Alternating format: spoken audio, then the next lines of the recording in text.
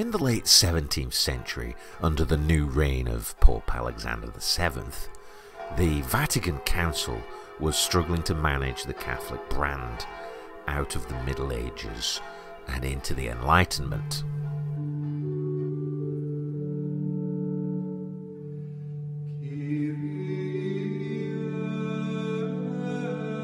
The highly profitable trading and display of holy relics was a cause for concern, and the most troubling of these was the holy prepuce, the circumcised foreskin of Jesus Christ, which was reputed to have magic powers.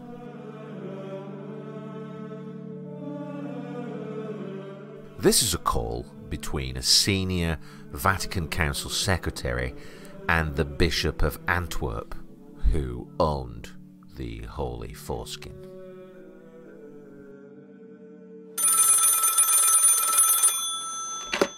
Hey, Bish baby, long time no see. How you doing? How are those altar boys treating you? Yeah. yeah, you know, it's the honeymoon phase. He's still trying on all the hats, touching all the frescoes. You know, he he had me check if he could excommunicate a whole country the other day. Yeah, yeah. France. He thinks they're too much trouble. of course we're not going to let him do it. Anyway, thanks for calling. Um, yeah, look, it's bad news. We're really serious about the holy foreskin. It's got to go. If if Jesus ascended to heaven, then he would have taken that bit with him. Think about it. Don't start talking Latin, man. The foreskin has got to go. Look, you can keep all of the titty milk of the Virgin Mother, right? No, it is a big difference. It is a big difference. She was mortal, and also there could be lots of milk, even if it was only a drop collected at every feeding. Well, I don't know what the current line is. I don't know. Joseph collected it from a wet, soiled sack bra or something. Look, it's not important. We'll work it out.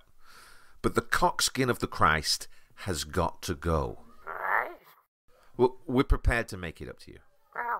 Maybe a sainthood. Anything's possible. Just take a second to think about it. If the cockskin is still around, it blows the whole ascension story wide open. It's weird. It's weird. Yes, it is weird when you think about it. Well, you know Jewish mothers. right. And then there's the whole race thing.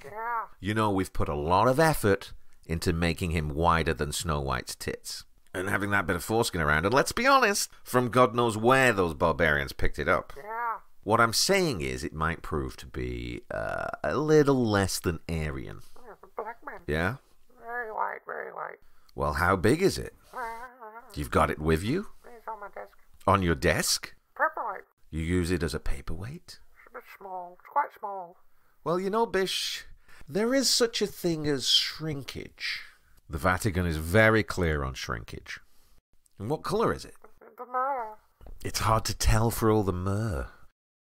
Well, that's a blessing, I suppose. Look, it's all moot anyway. It's got to go.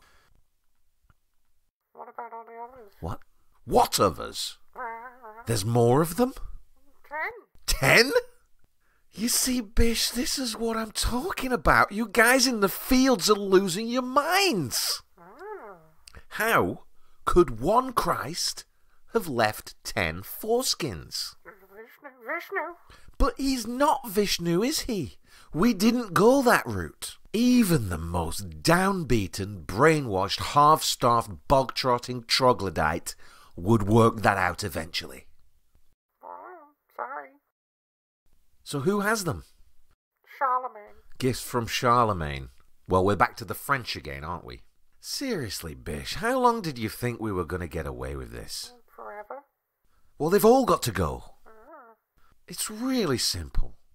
One Christ, white as snow, with one penis that was circumcised, Yeah. one holy foreskin Yeah. That was saved by Mother Mary under instructions from the angels for reasons we'd rather not go into, Yeah. but which then evaporated with him from the mortal realm when he ascended to heaven. It's not difficult. No, no, no, no. Well, Bish, I think you're making it difficult. Well, where is it then? Now you're just being obtuse. Is it a cock ring? Of course he's not just sitting around up there with it on a keychain. Bish, Bish, Is it the Sistine? come on. We're not going to add it to the Sistine Chapel. And that's another thing. The telescopes aren't going to go away, are they? Yeah. They're just going to keep coming. They're going to get bigger. They're going to get better. And we can't just keep burning scientists. Not anymore. Why? It's counterproductive. Oh, We've got to play the long con. Listen, we do have a plan. what is it? I'll tell you what it is. You know Leo in the library? Allatius, Leo Allatius, smart kid. Greek, I think. Ah, Well, he's come up with this thing. It's it's brilliant.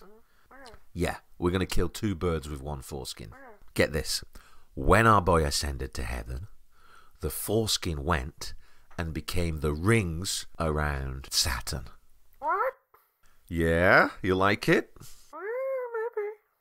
Well, you know, I'm not an astronomer, but it makes sense. And it's a magic foreskin, right?